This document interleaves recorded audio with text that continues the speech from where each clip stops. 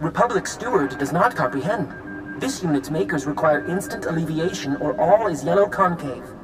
Please, Natake, try to calm down. I'm sure everything will be black and blue soon.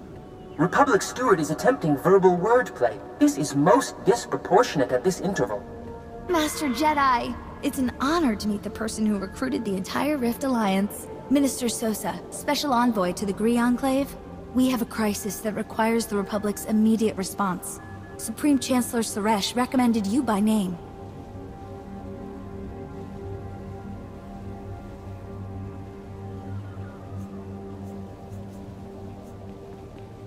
You had some trouble with your machinery on Coruscant, right? All who serve the Makers recollect you, Black Bisector.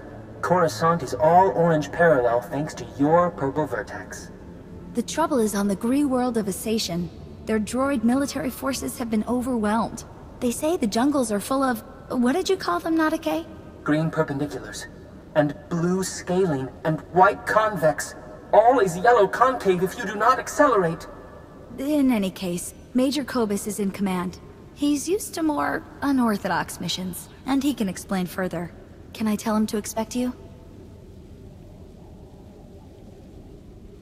I look forward to hearing the Major's explanations. He's really the perfect officer for an operation like this. He even did a month-long tour with the Voss. The shuttle can get you to the fleet, and from there to Major Kobus's ship. Good luck, and thank you. Natake is worried Asation will be Yellow Concave soon. Please do what you can to help the Gree.